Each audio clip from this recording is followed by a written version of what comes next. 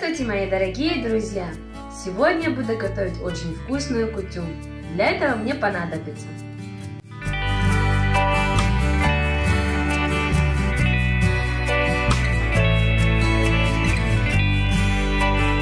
Начинать я буду с пшеницы. Ее нужно высыпать в друшлаг и под прохладной водой промыть несколько раз.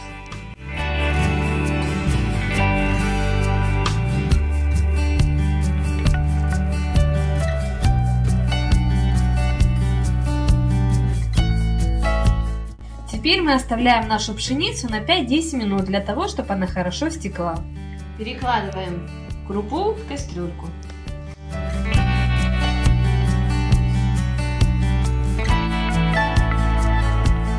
Пшеница варится один к двум. Если я брала один стакан пшеницы, тогда мне понадобится 2 стакана воды. Выливаем воду и будем отправлять ее на огонь.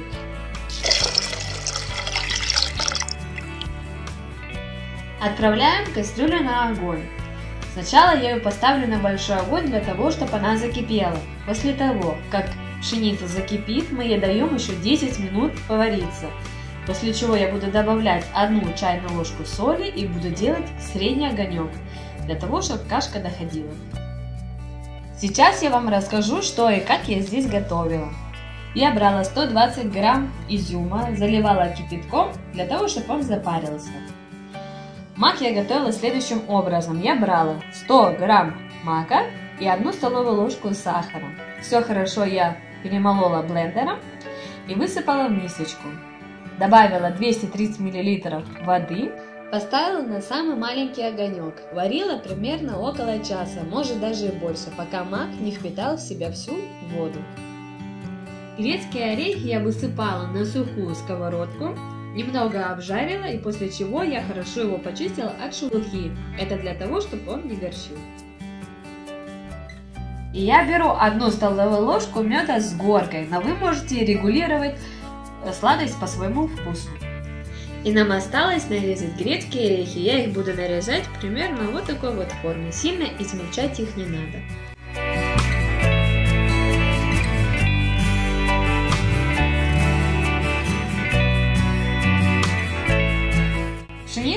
Уже сварилась. Как видите, она у меня получилась рассыпчатая. И теперь я буду все сюда по очереди добавлять. Начну я с мака. Высыпаем весь мак и хорошо перемешиваем.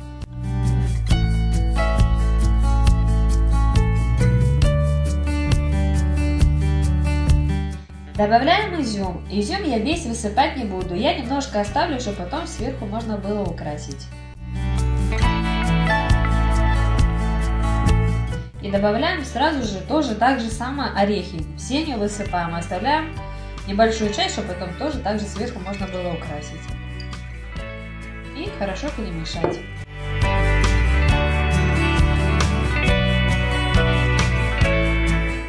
И добавляем мед и хорошо вымешать.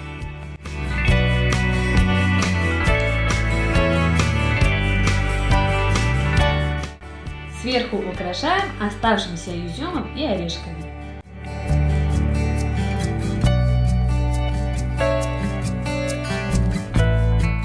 Кутя уже у нас готова. Она получается очень вкусная. Если вам понравилось, попробуйте приготовить. Если вам в течение видео было что-то непонятно, обязательно задавайте мне вопросы, я с большим удовольствием на них отвечу. Не забываем подписываться на мой канал и ставить мне лайки. С вами была Ольга Лунгу на канале Готовим вместе. С Рождеством вас!